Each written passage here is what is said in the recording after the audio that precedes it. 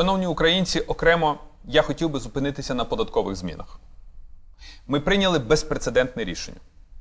Ми вдвічі скоротили основний податок на заробітню платню, так званий єдиний соціальний внесок. Зараз він 41%. З наступного року це буде 22%. Наприклад, на заробітній платі в 4,5 тисячі гривень роботодавець отримає економію 900 гривень. І ми, як держава, взяли на себе відповідальність за те, щоб пенсійний фонд, не дивлячись на зменшення сплати єдиного соціального внеску, був наповнений.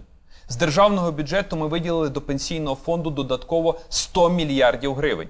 Адже чим менше єдиний соціальний внесок, тим менше надходження до пенсійного фонду.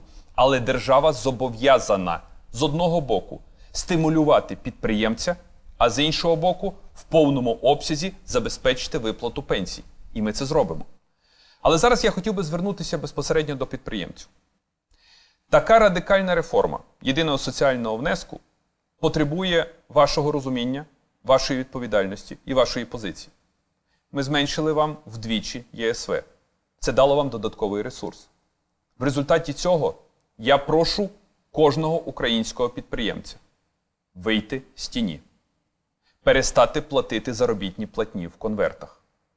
Ви отримали додатковий ресурс як на розвиток власного бізнесу, так і на підняття реальної заробітної платні для кожного вашого працівника.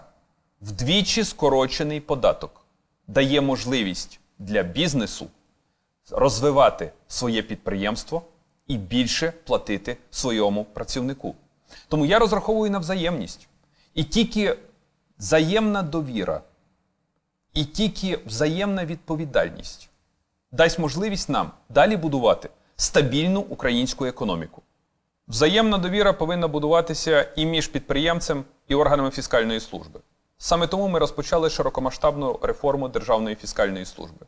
Це скорочення як кількості працівників, так і кількості підрозділів Державної фіскальної служби. Це зменшення кількості перевірок і основне зміна порядку відшкодування податку на додану вартість. Тепер не буде ручного режиму. Виключно прозорий і публічний підхід при відшкодуванні податку на додану вартість всім суб'єктам підприємницької діяльності. І це стало частиною нового податкового закону. Нам, звичайно, треба далі буде працювати і над змінами до державного бюджету, і над новою редакцією податкового кодексу. Це процес постійних реформ і постійних змін. Ми скасували додатковий імпортний збір, який був 5 і 10% відповідно. Це означає, що ціна на імпортні товари також піде вниз. Додатково ми кардинально змінили рентну політику при видобутку природнього газу. Ми вдвічі скоротили ставки оподаткування для підприємств, які чесно і прозоро видобувають природній газ і збільшують нашу енергетичну незалежність. Наша мета через 10 років Україна повністю повинна стати енергетично незалежною. І наша податкова політика саме на це спрямована.